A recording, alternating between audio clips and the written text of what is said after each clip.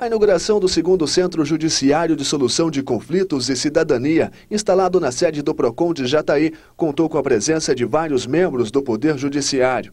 Com a sala direcionada ao Tribunal de Justiça dentro da sede do PROCON, a expectativa agora é agilizar os trabalhos, tendo em vista que se trata de uma inovação, por ser a primeira sala de audiência instalada dentro de uma sede do PROCON no Estado. Esse segundo Centro eh, Judiciário de Solução de Conflitos e Cidadania é no intuito de fortalecer ainda mais a proteção e defesa do consumidor.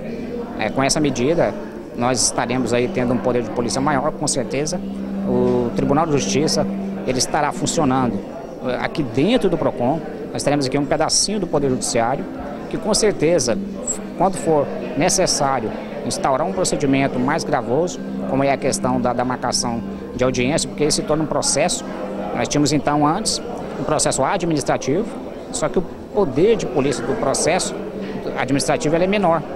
O Poder Judiciário vai ter um poder de mando, é, a que se faça ou se deixe de fazer. Com isso, com certeza, o consumidor jateense vai sair na frente mais uma vez. Eu quero ressaltar aqui a todos os consumidores jateenses que esse é o primeiro centro judiciário de solução de conflitos e cidadania instalado no âmbito de um PROCON a, no nosso estado. Então, mais uma vez, o consumidor jataiense sai ganhando com essa medida. É, o prefeito Humberto, inclusive, autorizou que fosse feito assim, porque é uma parceria com o município através do PROCON. E nós estamos aí, claro, muito felizes, porque passaremos então a proteger ainda mais os nossos consumidores. Isso intensifica o trabalho do PROCON aqui no nosso município, né? Olha, na verdade nós tentamos, é, inclusive eu quero ressaltar também que nós tínhamos muito mais audiências. Essas audiências viram processos. Então nós diminuímos bastante esses processos com os nossos atendimentos é, preliminares. Nós temos atendimento preliminar, que é que a gente liga a, para o, o fornecedor, explicitando a situação que o consumidor está nos relatando, ou quando não resolve através de um contato telefônico, nós buscamos documentar essa situação enviando uma CIP, que é a Carta de Informações Preliminares, onde a gente conta a história do consumidor e o fornecedor vai ter a chance de responder essa carta resolvendo ou não a demanda do consumidor. Quando isso não resolver, aí sim marcava audiência, já é um momento processual. E esse momento processual agora, de administrativo, então, passa a ser judicializado porque o Tribunal de Justiça vai funcionar dentro do PROCON. Então nós passaremos a marcar audiências, quando for o caso, é, já judiciais. Essas audiências serão homologadas por sentença de um juiz, o juiz assina, e se for descumprido aquele acordo ali, já segue para o Poder Judiciário, sendo executado aquele acordo que foi feito.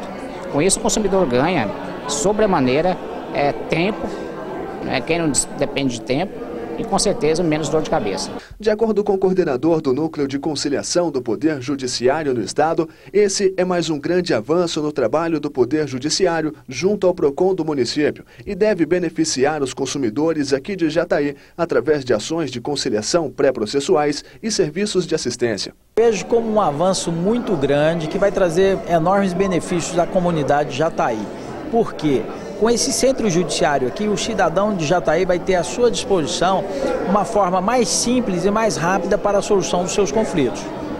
Agora nós temos, é, é uma inovação, né? A colocação de um centro como esse dentro do PROCON. O que o senhor espera como resultado de uma inovação como essa? Eu espero como resultado que as relações de consumo, ou seja, aquelas reclamações é, que são decorrentes da relação de consumo, elas vão ter um tratamento diferenciado, com mais rapidez. O, o consumidor ele vai poder se dirigir aqui ao PROCON, onde ele vai formalizar a sua reclamação, vai ser designada uma audiência e feito o acordo, ele já vai ser homologado por um juiz e aquele acordo já vai valer como título definitivo, ou seja, ele vai poder ser cobrado a qualquer tempo se não for cumprido de forma espontânea. Dentro dos trabalhos desenvolvidos pelo Núcleo de Conciliação do Poder Judiciário do Estado estão várias conquistas de prêmios nacionais que representam a grandeza do trabalho realizado pelo Núcleo. E a expectativa é que esse centro inaugurado junto ao PROCON seja mais uma dessas conquistas.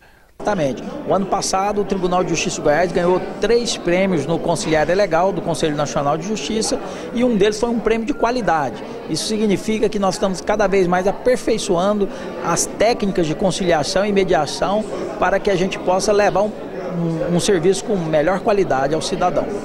Ou seja, esse tipo de ação feita aqui hoje vem a somar no trabalho já realizado. Com certeza, vem a somar e a gente está procurando consolidar e melhorar a imagem do Poder Judiciário junto à população local.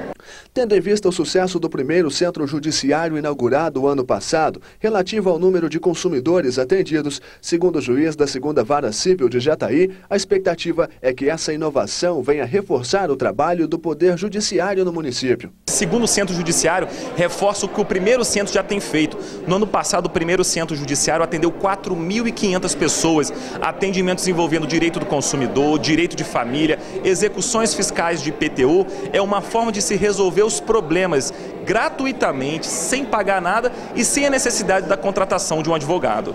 Para quem não sabe, qual é, é, os casos que devem ser direcionados para esse centro aqui no Procon? O primeiro centro que funciona no antigo fórum são questões de família e questões fiscais, envolvendo IPTU, os tributos municipais. O nosso segundo centro ele tem como foco só questões envolvendo direito do consumidor. Então, quando a pessoa vier no Procon para fazer sua reclamação, se o Procon não conseguir resolver, nós já teremos um pedacinho do Poder Judiciário aqui dentro para resolver esse problema imediatamente. Lembrando que isso é uma inovação em todo o estado, né? Sem dúvida, o Tribunal de Justiça de Goiás todos os anos ganha prêmio no Conselho Nacional de Justiça como o tribunal que mais promove a conciliação no Brasil.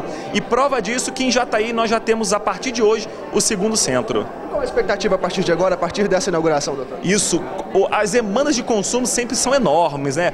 Todos nós somos consumidores. Quando nós temos telefone, compramos um celular para os nossos filhos, compramos alguma coisa para a nossa casa. Então a nossa expectativa é que o atendimento vai ser bem grande, mas nós estamos fisicamente e pessoalmente preparados para isso.